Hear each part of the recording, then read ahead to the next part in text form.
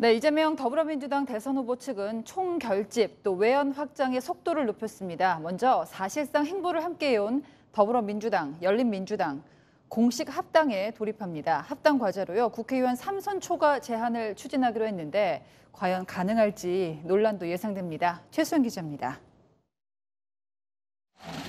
송영길 더불어민주당 대표와 최강욱 열린민주당 대표가 당대당 합당을 선언했습니다. 대선을 73일 앞두고 법력권 세력 결집에 나선 겁니다.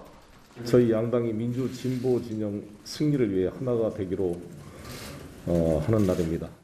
정치 사회 개혁 의제에 대한 요구 사항을 민주당에 전달해 주셨고 또그 그 점을 민주당이 대승적으로 수용해 주신 점에 대해서 매우 의미 있고 감사하고 양당은 당명을 더불어민주당으로 하고 정치개혁 특위를 구성해 국회의원 3선 초과 제한 등 정치개혁 의제를 함께 추진하기로 합의했습니다. 민주당은 전당원 투표와 최고위 의결 등 절차를 거쳐 다음 달 초 합당을 마무리할 방침입니다. 이 경우 지난해 총선 직전 창당한 열린민주당은 1년 10개월 만에 간판을 내리게 됩니다. 통합 후 민주당 의석수는 현재 169석에서 172석으로 늘어납니다.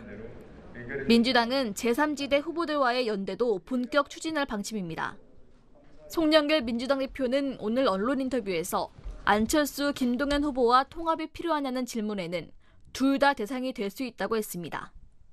특히 안 후보에 대해 국가 발전을 위해 꼭 필요한 분이라며 통합 흐름이 만들어질 것이라고 했습니다. 법력권을 넘어 제3지대도 포섭하겠다는 겁니다.